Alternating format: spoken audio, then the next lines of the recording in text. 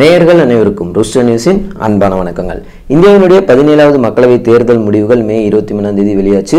ஒட்டுமொத்த இந்தியாவிலேயே சுயேட்சையாக எவ்வளவோ பேர் நின்றுருப்பாங்க. வெறும் நாலே நாலு பேர் மட்டும்தான் நின்னவங்க ஜெயிச்சிருக்காங்க. அவங்க யார்? எந்தெந்த தொகுதியில் ஜெயிச்சிருக்காங்க? அதை பற்றி தான் இந்த வீடியோவில் நம்ம பார்க்க போகிறோம்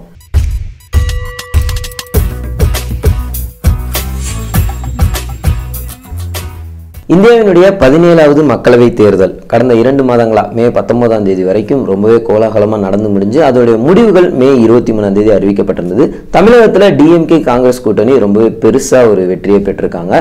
இந்தியா முழுவதும் ஒட்டுமொத்த இந்தியாவையும் பார்க்கும்போது பிஜேபி கூட்டணி வந்து ரொம்பவே பெரிய அளவில் தனிப்பெரும்பான்மையோடு ஜெயிச்சு சீக்கிரமே ஆட்சி அமைக்க போகிறாங்க கடந்த இரண்டாயிரத்தி பதினாலு மக்களவை தேர்தல் அப்போ மோடி அலை மோடி அலை அப்படின்னு சொல்லிட்டு அவருடைய அலை தான் பெருசாக வீசுதுன்னு சொன்னாங்க.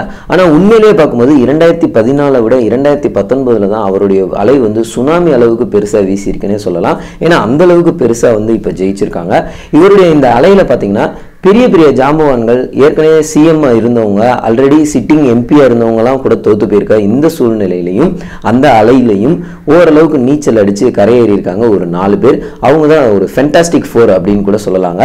ஆறாயிரத்தி நானூற்றி முப்பத்தி நாலு சுயேட்சை வேட்பாளர்கள் வந்து இந்தியா முழுவதும் போட்டிகிட்டு இருக்காங்க. அந்த ஆறாயிரத்தி நானூற்றி முப்பத்தி நாலில் இவங்க நாலு பேர் மட்டும்தான் ஜெயிச்சிருக்காங்க. யார் அந்த நாலு பேர்? ராகுல் காந்தி அவர்களே அமேட்டி தொகுதியில் தோத்து போயிருக்காரு. இந்த சூழ்நிலையில் மகாராஷ்டிரால அமராவதி அப்படின்ற தொகுதியில் நவ்னீத் ரவி ராணா அப்படின்ற ஒரு பெண்மணி வந்து பெருசா ஜெயிச்சிருக்காங்க எம்பி ஆயிருக்காங்க.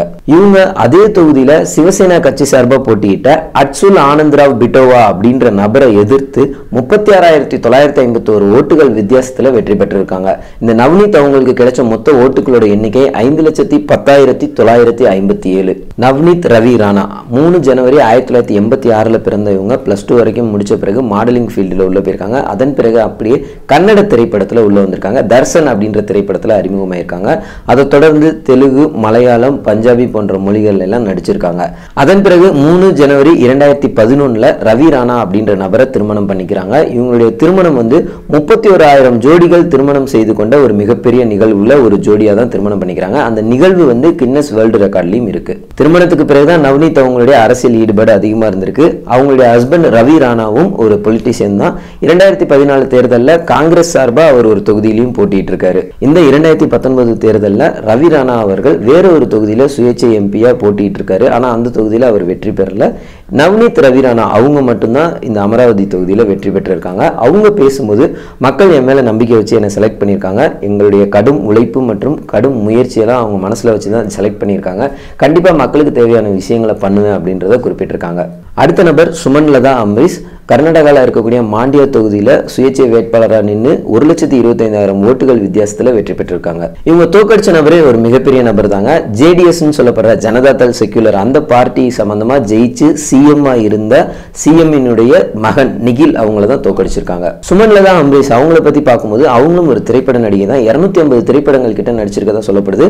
அவங்களுடைய கணவர் அம்பரீஷ் அவர் வந்து ஒரு பிரபலமான திரைப்பட நடிகர். கடந்த இரண்டாயிரத்தி பதினெட்டில் அவர் இறந்துட்டாரு. அவர் இருந்தப்ப ஆயிரத்தி தொள்ளாயிரத்தி தொண்ணூத்தி எட்டுல ஜனதாதள் சார்பாகவும் இரண்டாயிரத்தி நாலுல காங்கிரஸ் சார்பாகவும் அதே தொகுதியில நின்று ஜெயிச்சிருக்காரு. சுமன் லதா அம்பரீஷ் அவங்களுடைய வெற்றிக்கு பிஜேபியும் காங்கிரஸும் ஒரு வகையில சப்போர்ட்டா தான் இருந்திருக்காங்கன்னு சொல்லப்படுது. இவங்களுடைய இந்த வெற்றி வந்து ஒரு ஹிஸ்டாரிக்கல் மொமெண்டா பார்க்கப்படுது. என்ன காரணம்னா இது வரைக்கும் ஆயிரத்தி தொள்ளாயிரத்தி ஐம்பத்தி ஒன்னுல இருந்து இரண்டாயிரத்தி பத்தொன்பது வரைக்கும் கர்நாடகால இரண்டே முறை மட்டும்தான் இண்டிபெண்டா சுயேட்சையா இருக்கிறவங்க வந்து ஜெயிச்சிருக்காங்க. அம்பரீஷ் அவர்கள் இறந்து போன காரணத்தினால சுமன்லதா அம்பரீஷ் அவங்களுக்கு அனுதாபங்கள் நிறையவே இருந்தது. அனுதாப ஓட்டுகள் கிடைக்கிறதுக்கான வாய்ப்பு அதிகமா இருந்ததாகவும் சொல்லப்பட்டிருக்கு. அது மட்டும் இல்லாம பிஜேபி சார்பா கர்நாடகால பிஜேபி ரொம்பவே ஸ்ட்ராங்கா தான் இருந்திருக்காங்க. அவங்க சார்பா எந்த ஒரு வேட்பாளரும் அங்க நிற்கலைன்றதுனால இவங்களுக்கு போட்டி கொஞ்சம் குறைஞ்சிருச்சுன்னு சொல்லப்படுது.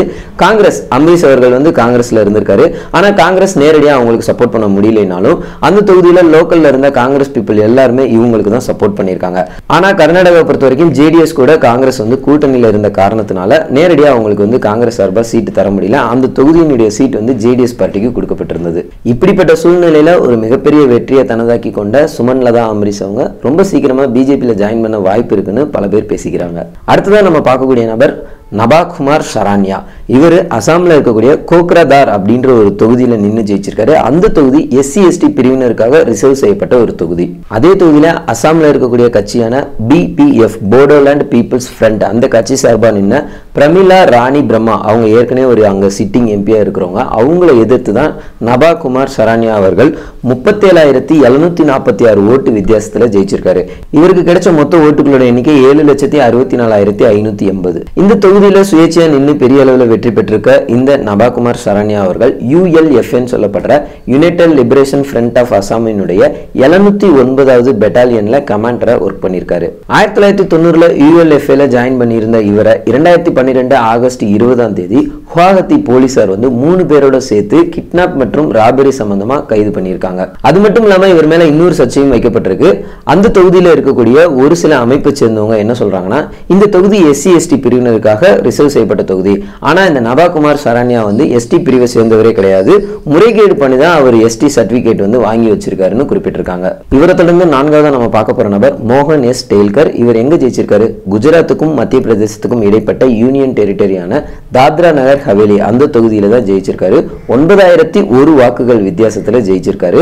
இவருக்கு கிடைச்ச மொத்த வாக்குகளோட எண்ணிக்கை தொண்ணூறாயிரத்தி நானூற்றி இருபத்தி ஒன்று இந்த டெய்ல்கர் அவர்கள் இரண்டாயிரத்தி ஒன்பது மற்றும் இரண்டாயிரத்தி பதினாலில் பிஜேபி வேட்பாளரான நட்டுபாய் பட்டேல் அவர்கிட்ட தோத்து போயிருக்காரு. இப்போ அவர் தான் ஒன்பதாயிரத்தி ஒரு வாக்குகள் வித்தியாசத்தில் ஜெயிச்சிருக்காரு. இதுவரைக்கும் இதே தொகுதியில் இவர் ஆறு முறை போட்டிட்டு இருக்காரு. இந்த முறை பதினோரு வேட்பாளர்கள் இவரை எதிர்த்து போட்டிட்டு இருந்தாங்க. அவங்க எல்லாத்தையும் தாண்டி தான் இவர் இந்த முறை ஜெயிச்சிருக்காரு. இவரோட அப்பா ஆயிரத்தி தொள்ளாயிரத்தி அறுபதுலேயே காங்கிரஸ் சார்பாக போட்டியிட்டு ஜெயிச்சு எம்பியாவும் இருந்திருக்காரு. இவர் காங்கிரஸ் பிஜேபின்னு மாறி மாறி இருந்திருக்காரு. இரண்டாயிரத்தி ஒன்பது இரண்டாயிரத்தி பதினாலில் காங்கிரஸ் சார்பாக தான் போட்டிட்டு இருக்காரு இந்த தொகுதியில்.